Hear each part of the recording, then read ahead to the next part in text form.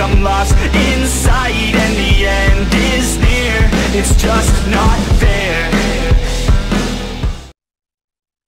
Hey guys, it's 681 Shadow, welcome to another video on Dragon Ball Z Dokkan Battle, and originally for showing off this Omega Shenron EZA, which is what we're going to do today, I was going to try to get to level 999, but I realized that like there was a lot of stuff, other stuff I wanted to do in-game, so I decided to stop here at around level 250, and really I just want to, like, I'm showing it off here, like, it's fine that I didn't get to the max level, because, well, A, the rewards aren't too great going beyond the, um, the rewards aren't too great for going even further beyond, like that. I'm actually going to pick up LR Goku Trunks Japan here as a friend. This is the team I'm running. And this event, it doesn't really get that much harder until that level 999, but it's not even that hard um, at that level. So, if you want to grind it up to there, then be my guest. But honestly, this event isn't really, um, know, it's not really necessary to grind it that much. The main thing is to just grind this event until you get to, um, until you get through the first 100 stages, because you get um, all the copies for this EZA Goku here, which we are, I am going to show off. Um, I am going to show him off as well in a video. That'll probably be tomorrow's video, and then um, yes, you're getting a not so great look at him here. Which yeah, I'll show him off on the Shadow Dragon team tomorrow, and then um, with the other 50 stages, you get access to um, you're able to get one sleeping Kai per stage. So you get 50 Kai, you get 50 sleeping Kais, which are, which is pretty nice actually. So make sure to do those 100 stages before this event goes away. It goes away, I believe, on the 12th, along with all the anniversary stuff that's still sort of lingering around. So let's wait on that. We have got because I am back from my vacation now, so I have like you know I'm able to make some more content, and we and we know that Super Dragon Ball Hero stuff is gonna be um is gonna be coming to um Global, which is awesome. So I'm really excited about that, and as you see, especially with that uh, GT Goku, because he's the weakness of the event, we're able to get through this pretty quickly, which is nice. Alright, so, yeah, I'll do maybe like another stage or two. Not going to make this drag out for too long. Because, um, it, it, will have already happened by the time this video goes up, but I am going to be streaming today as well. And I will be streaming tomorrow. Um, both streams will be me reacting to, uh, to the EVO Top 8 for, uh, well, today, which is which will happen before this video goes up, will be Dragon Ball FighterZ, and then tomorrow will be uh, Smash Bros. Ultimate. So that'll be exciting. I definitely want to. Uh, I definitely want to see those matches. Trying to get um, to get into those games more. I want to try to play Dragon Ball FighterZ on the channel. I will, so like the like watching the top eight for that is gonna be more so for me to learn like oh what's in the meta, what's good, things like that. Especially from like players of like those of like that high caliber, I'm gonna I can definitely learn a lot from stuff that they're gonna be doing.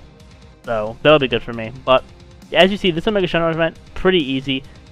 You can beat it with with just a regular uh, INT-type team, either Super or Extreme, it doesn't matter. Omega Shenron doesn't have any additional damage reduction to Super Extreme types, so you're fine either way with this. Yeah, so yeah, this this event, honestly, is not hard whatsoever. He, even like free-to-play players shouldn't have an issue with this event at all. Yeah, because we're because if you're running like a super INT team like this, you'll be able to you'll be able to beat Omega Shenron in like a turn or two. So yeah, you're on. It's honestly nothing to really worry about. Just get those hundred stages done to get the uh, the GT Goku as well as the uh, Sleeping Kais because both are very good. You know, I'll show off the GT Trio because I love their 18 ki. I'll, I'll let the, I'll let them finish off Omega here. Yeah, I really I really love I love how some of the super, like the more recent super techs like uh, Goku Trunks Japan, the Piccolo that's on JP now. Their super techs are like one to one with the anime, which is awesome. Yeah, so they have this one being the uh, the Dragon Ball GT uh, opening sequence, which is pretty cool. There's that. Yeah, we'll do one more stage. I don't want the video. I don't want the video to be too ridiculously short because, um, yeah, because we're at like four minutes now. I'll do one more stage, and I think that would be a good length for the video. Then we'll have our usual length, like around 10 minutes for our showcases and stuff like that. And hopefully some hero stuff. Like, like for heroes, if we get the same, like all of the heroes units that are on JP right now, the most like the number one unit I really want to pull is probably going to be Sealas. So yeah, so if I can get Sealas, then that's going to be really good for me because he's he's really good, and I'm going to enjoy like showing him off and doing all that. If not him, then there's plenty of great Dragon Ball Heroes units. I might make a video um, for news on the banner once we get the news on um, the 8th. Yeah, it'll, it'll be the 8th in my time zone. If you're in Pacific, it'll it'll probably be um actually I don't know it might still be the eighth if you're in Pacific. I actually don't know, but it'll still be very exciting news, and I'll probably be able to cover it, which will be awesome. So definitely keep a lookout for that. Yeah, so heroes definitely like su it's super exciting because like JP has had the hero stuff for like years, and Global hasn't gotten any of it.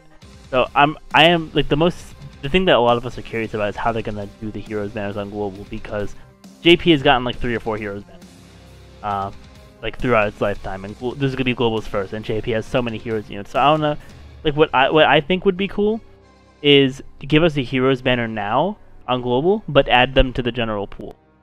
So like after this heroes banner that that we're gonna have, if they added the heroes units to the general pool of SSRs, then I think that would honestly be the be- best move because you would have like like we'd probably get like the same heroes banner that JP got uh, most recently, the one with um the one with Sealas, um the Xeno base Goku, Xeno base Vegeta, Great Saiyaman 4, that banner. Like if we get all that and all the awakenings, and then just have them unfeatured on every banner going forward, I think that'd be a smart move on Bandai's part. Because then people will be able to also get those those uh, Dragon Ball Heroes characters. Like that that'd be honestly really cool. Because like I could be summoning on like 300 million dollars celebration, and if I don't get like what I want, but then like, I could not get what I want in the 300 million dollars banner, but then I could also get like an unfeatured like Supreme Kai of Time, which would be amazing. So yeah, I think that'd be definitely a good move for them. But yeah, I think we're going to end off the video here, guys.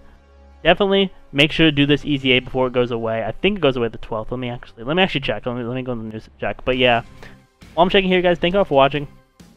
Remember to rate, comment, subscribe, and share all that fun stuff. It's definitely, um, okay, actually, yeah, no, it's not going to show me. Uh, where's the EZA? Here we go. Yeah, definitely be sure to rate, comment, subscribe, and share all that fun stuff. More content's going to be coming your way, which is awesome. Uh, let's see. It's going to end. Is there a date? Oh, yeah, it's up there. Okay, yeah, yeah, it's the 12th. Yeah, okay. That's good. Alright, yeah, so with that, guys, thank you for watching, and I'll see you all next time.